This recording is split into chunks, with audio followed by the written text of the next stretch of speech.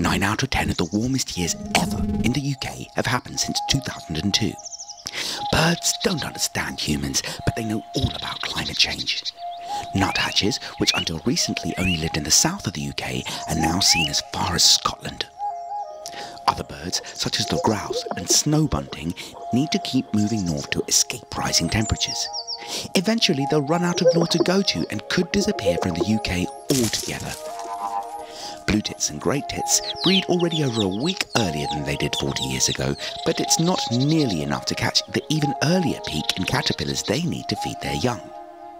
But birds aren't the only ones affected by climate change.